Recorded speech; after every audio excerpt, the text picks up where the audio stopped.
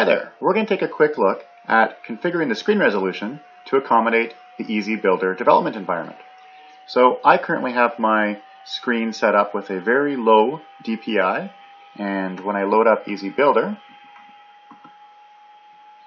we'll see that everything is very big and it's difficult to fit very much on the screen.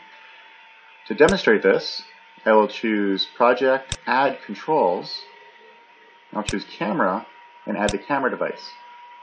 By clicking on the gear icon of the camera, you'll see the window is so big that I can't actually access the save or cancel buttons that are normally at the bottom of this window.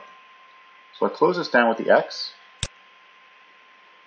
and I'll close down EZ-Builder. And to adjust the screen resolution, we're going to right click on the desktop, choose Display Settings,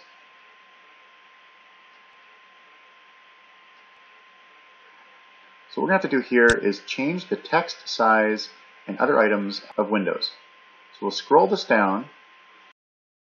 As you can see here, 125% is the recommended size for Microsoft Windows.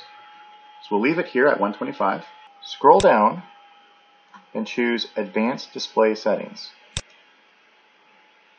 Here, you have the option to select all of the different resolutions that your video card supports. Make sure it's set for the highest resolution that's supported.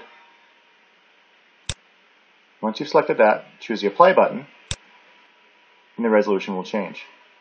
After changing the resolution, you may need to go back into the display settings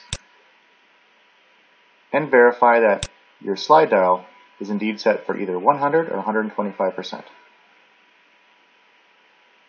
Reload EZ-Builder. Now you see everything fits on the screen much better. And we can add our camera control.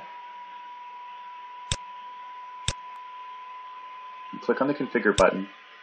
You see here the entire configuration window is displayed with the save and cancel buttons. When EZ-Builder loads, it shows you the resolution that's detected for your environment. So to access that, I click on Options, Debug, which opens a debug window, and you'll see down here the screen resolution, which is currently detected on my computer at 1920 by 1080.